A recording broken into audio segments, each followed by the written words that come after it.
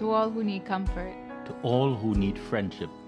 To all who are lonely and need companionship. To all who need sheltering love. To all who sin and need a Savior. John Gray Memorial Church opens wide its doors and in the name of the Lord says, Welcome. Welcome. Welcome. Welcome. Welcome. Happy New Year and welcome to this time of worship with us here at John Gray Memorial Church. This is the day the Lord has made. In fact, the new year that the Lord has given. We rejoice and are glad with it. We're grateful that you have journeyed with us from last year into this new year. We look forward to how God will lead us into this new year and to bring us closer towards God's self, even as we are drawn closer with each other. Here at John Gray Memorial Church, we celebrate communion on the first Sunday of every month, and we'd therefore like to invite everyone to get a small cup of juice and a small piece of bread as Reverend Donovan will lead us in communion at the end of the message. Let us now come to God in worship and in prayer. Let us pray. God of our hopes, Christ of our faith, Spirit in our hearts, we come to you in worship with gladness and joy. Your goodness knows no limit of generation or gender, of condition or citizenship. You are kind to all, and we worship you for your goodness, your faithfulness, and your love. Glorious God, we have faith in Jesus Christ and love towards your people, yet we are not without blemish in your sight. We're not full of love, wisdom, or the other spiritual blessings that you still have available for us. Our love is not as inclusive as yours, and there's much we need to learn. So give us clearer vision of all that we are meant to be, so that by becoming fulfilled, we may increase the glory that is properly revealed in Jesus Christ, your beloved. For we pray this in his name. Amen.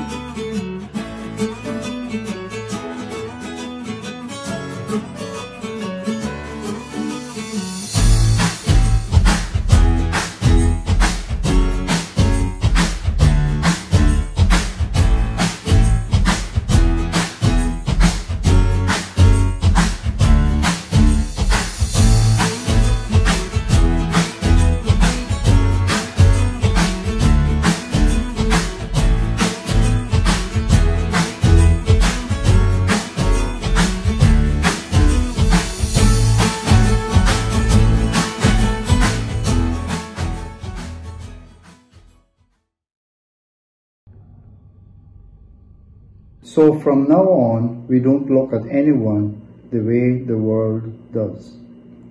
At one time, we looked at Christ in that way, but we don't anymore. When anyone lives in Christ, the new creation has come. The old is gone. The new is here. All this is from God. He brought us back to himself through Christ's death on the cross. He has given us the task of bringing others back to him through Christ. God was bringing the world back to himself through Christ. He did not hold people's sins against them. God has trusted us with the message that people may be brought back to him. So we are Christ's official messengers. It is as if God was making his appeal through us. Here is what Christ wants us to beg to you to do. Come back to God. Christ didn't have any sin, but God made him become sin for us. So we can be made right with God because of what Christ has done for us.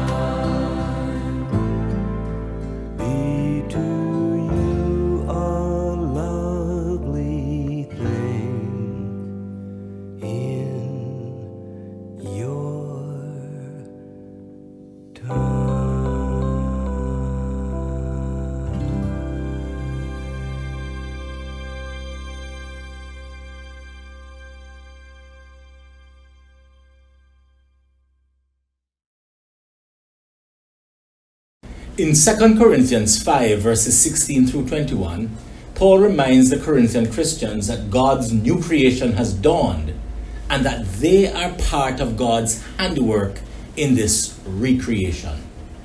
As recipients of God's grace, they are called to not only enjoy the gift of being brought back to God into relationship, but to share the good news with everyone by bringing them back to God through Christ.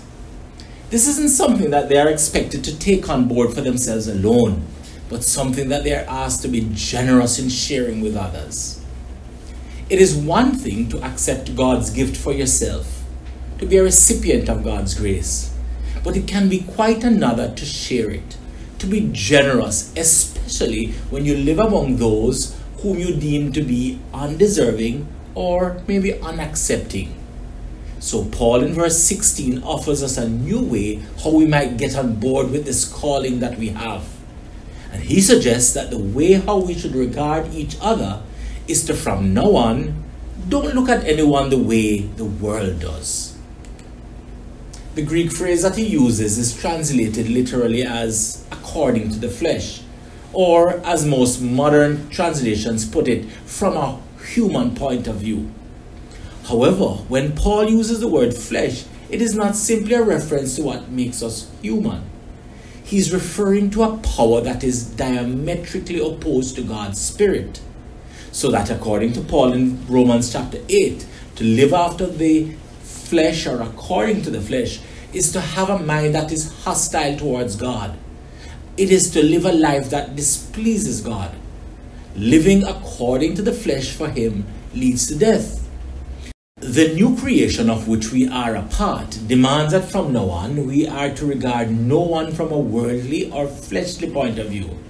As Christians, our calling is to be reconciled to God, to be reunited with God through Christ. Because that is what we are, a reconciled people, we live in a restored relationship with God through Christ. So, though once we regarded Christ from a worldly or fleshly point of view, where we were diametrically opposed to Christ, we do not do that any longer. We no longer live in opposition, but we are on the same page. We have a shared identity and shared purpose. That's our state of being. That's who we are called to be. And flowing out of this, we are called to do. As Christians, our conduct should be that we are reconcilers of others to God. Ours is the task of bringing others back to God through Christ. Paul says of our expected conduct that we are Christ's ambassadors. As though God were making his appeal to us, so our task is to implore others on Christ's behalf to be reconciled, to be brought back into relationship with God. That's our task. This is what we are called to do. So, this call to be and to do are both alien to our natural inclinations, though in our unregenerate state, before we had Christ living in our hearts and ruling in our lives, we were fighting against God. We wanted our own way. We wanted to do our own thing. We didn't want to reconcile or submit or acquiesce to God's way. So, Paul is speaking about the new that has come, the Spirit's work that is in our life to guarantee that the new age has dawned, that God is transforming and redeeming and calling all people into this newness of life. And the work of God's Spirit is to create a new way of seeing, a new way of knowing, and a new way of acting. That is the call of the text, and that is the call to us in this new year. What is this new way of seeing? Paul juxtaposes two ways of viewing one another using the example of Jesus Christ. At one time, he says, we looked at the one we call the Christ and saw nothing special. Perhaps we saw a prophet, and perhaps some saw a fool. We judged on the basis of our human experience, our worldly point of view. And then something happened. Something that allowed us to see in Christ the one in and through whom God reconciles the world to, world to God's self. Paul does not specify what that something is, and it's very likely that it's different for each one of us. However, the effect is that we experience the presence of God not only in our own lives, but come to recognize the presence of God permeating the entire world. And our way of seeing, therefore, changes, as well as our understanding of how we see the world. A new way of seeing. But what is the new way of knowing? In the movies, The Truman Show or The Matrix, the main characters each face a crisis of learning that the world that they have always known is not quite the real world. For Neo in The Matrix, the world he knows is a complete fabrication. But learning this information places him in a war in the real world. And for Truman, in that movie, the world and lifestyle that are created for him by a TV producer are not satisfactory once he discovers there is a whole new world beyond his experience and he longs to experience it. Neither character in either of the shows can go back to life as normal because they have now found a new way of knowing. They are now aware that the real world is beyond anything that they previously imagined. That's what happens when we have a new way of knowing. The revelation of Jesus to Paul has produced that kind of a crisis in Galatians 1, verses 12 and 16. Seeing Christ changed how Paul sees the world and all around him. The world that Paul knew is not all there is, for a new world has dawned, a new understanding has come about. The world as you and I know it is not all there is, there is much more that we don't yet know. God is in the business of rectifying God's creation, and Paul has seen God's God's action in this recreation, and he cannot go back to life as normal. We are in the midst of a transforming time in our life and in our era. God is at work, and we cannot go back to life as we knew it, life as normal. The distinctions that matter in the old world, whether that you are Jew or Gentile, whether you're male or female, that you're slave or free, don't matter in the real world, in this new world that God is reconciling all things to God's self. For regardless of gender, status, identity, or position, God is at work doing something special. All of those things, all of what we were, all of how we behaved was in conflict with God's way and therefore can't stand but are all in need of God's reconciling work, God's redemptive work, God's embrace by God's loving grace a new way of knowing. What is this new way of acting? Paul says when everyone lives in Christ, the new creation has come. Creation is ongoing, and so he uses the perfect tense to make that point that the new creation has come. It is complete, but it has ongoing consequences. For you see, it is that it is ongoing not in the sense of evolution, but it is in a constant state of renewal. This occurs through Christ who restores the relationship between the Creator and the creation.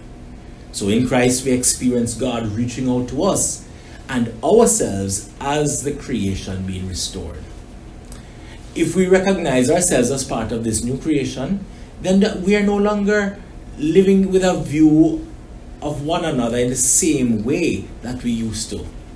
Reconciliation is not simply something to be desired, it becomes an imperative because we have experienced this reconciling, this being brought back to God, and therefore we are given a new life.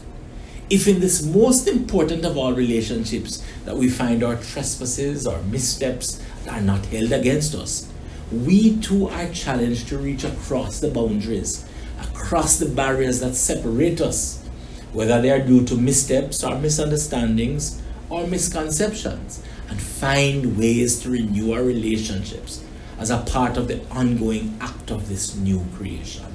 So, because we have received, we must also give. Because we have been renewed and restored, we must also renew relationships and restore ones that are broken. So Paul spoke out of that kind of experience.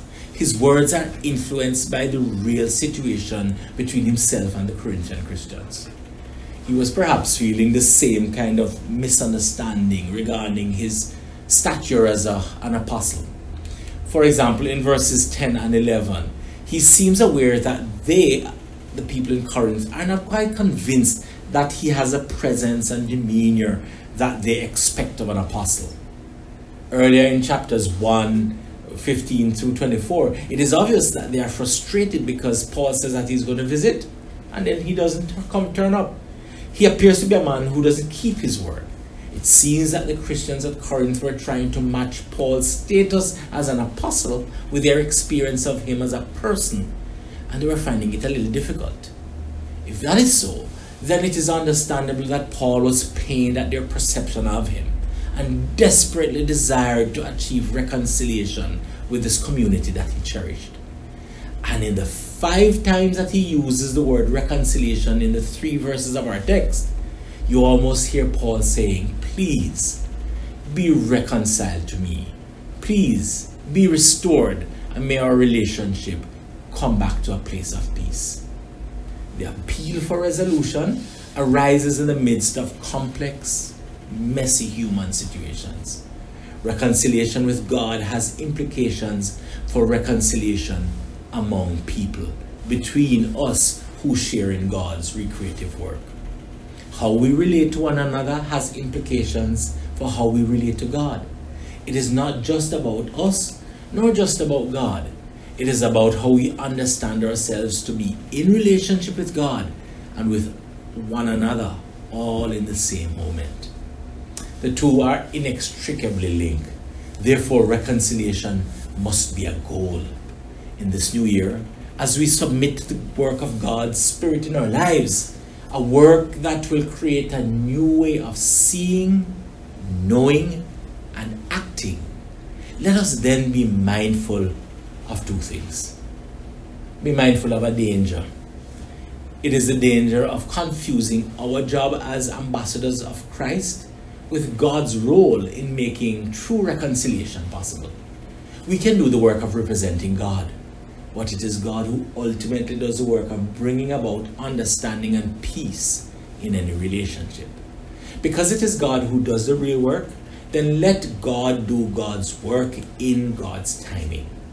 Or else, all we will achieve is conformity instead of real unity. But let us also be mindful of the possibilities. Was Paul reconciled to the Corinthian Christians? That remains a little uncertain. And the open endedness of that situation leaves us room to work towards reconciliation that will open up the potential for real renewal of creation. It is that possibility that fuels our ongoing effort. But it is the inability to guarantee its outcome that will become sometimes discouraging. Yet, because of what can happen, we continue to live out our new role as reconcilers. It is in this act, says Paul, that we may become the righteousness of God. So may God grant us new grace, grace to live into our position and to live out our purpose in this new year. In the name of God, our Father, God, our Savior, and God, our Comforter. Amen.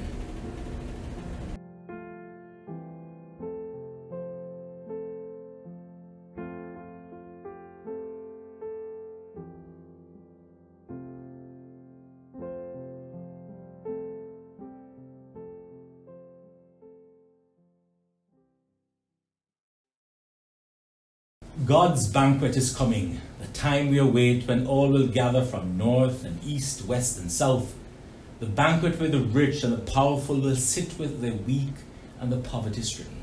A table where young and old will learn from each other. A time when we will sit together in peace and the wolf will lie down with the lamb. Here at this table is where we get a foretaste of God's banquet. But this is indeed God's table, not the church's table so that all who seek to follow the way are welcome to eat and drink from it. Come, Come and taste the grace eternal. Come and see that God is good. God is with us and we're not alone. Christ is present here and the Spirit moves within us. So let us give thanks to God in memory and in hope. Blessings be to you, Creator God, who in the beginning brought light and life to the world, and who continues to bring it love and light everlasting. Blessings to you, Savior God, for the gift of your Son on the cross, broken and bleeding for our sins. We thank you for this meal that we share in his memory. Accompanying God, pour out your Spirit upon all of us. As we eat and drink, may we know your presence. And as we eat and drink, may we be open to the possibilities of your hope and power. And may we be strengthened in our time of waiting for peace and justice, so that we will have the courage to make your presence among us a reality in our lives. For Christ's sake we pray. Amen. Let us remember the story of this meal as we have just celebrated the birth of Christ, we remember that that baby would grow and live and offer himself to break the bonds of human tradition and to present for us a glimpse at what the banquet of hope will be as he ate openly with the despised and the outcast of his time. And we remember one special meal, a foretaste of that banquet which is to come where he ate with his closest friends gathering them together in an upper room to share the story of liberation, he prepared for them a meal. And at the end of it, he took bread and he blessed and broke it and passed it to them and said, Take and eat. This bread is the body of life, broken by the world, eaten in remembrance and in hope. After that, he took the cup and he blessed it, and he passed it to them, saying, This cup is a sign of a new covenant. Whenever you drink it, remember me, for I shall not again eat and drink until the time of the heavenly banquet. And in our remembering, we affirm the mystery of our faith. Christ has died. Christ is risen. Christ will come again. The bread we break is the bread of life given for our salvation. Cup we share is a cup of promise given for our redemption.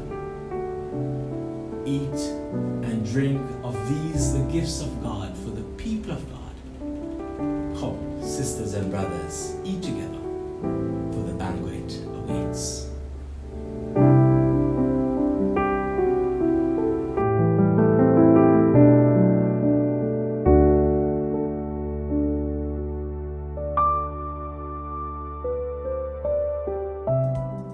Let us pray. Lord Jesus, I bow before you in humility and ask you to examine my heart today. Show me anything that is not pleasing to you. Reveal any secret pride, any unconfessed sin, any rebellion or unforgiveness that may be hindering my relationship with you. I know that I am your beloved child having received you into my heart and life, and having accepted your death as penalty for my sinfulness. The price you paid covered me for all time, and my desire is to live for you. As I take the bread representing your life that was broken for me, I remember and celebrate your faithfulness to me and to all who receive you. Thank you for your extravagant love and unmerited favour. Thank you that your death gave me life, abundant life now, and eternal life forever. As you instructed your disciples, I too receive this bread in remembrance of you. And in the same way, as I take this cup representing your blood poured out my splintered cross, I realize that you were the supreme sacrifice for all my sin, past, present, and future. And today I remember and celebrate the precious gift of life you gave me through the blood that you spilled. Amen. As we go into this new year in hope and faith, may God's blessings be with us and may we experience God's abiding presence and accompaniment with us in all that we do. Go now in peace. May the blessings of God, Father, Son, and Spirit be with you and your loved ones near and far today and always. Amen.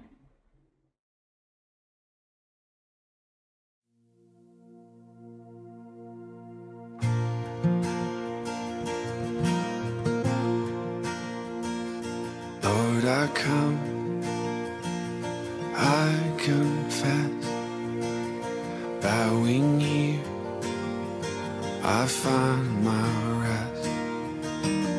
Without you, I fall apart. You're the one that guides my heart.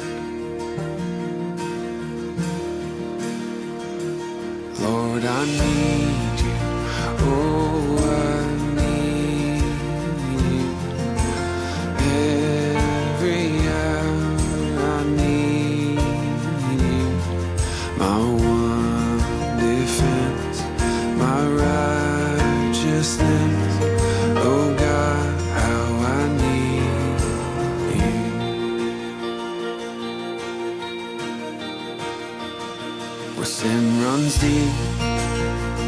your grace is more. Grace is found is where you are. Where you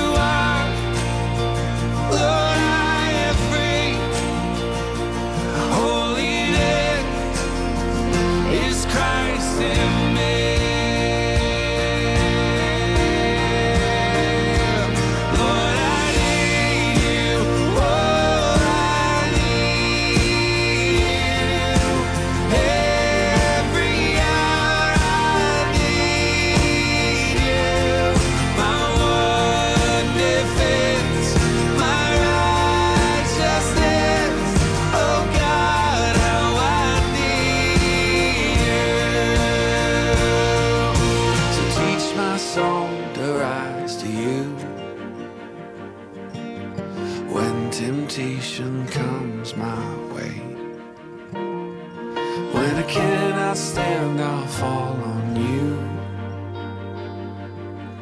Jesus, you're my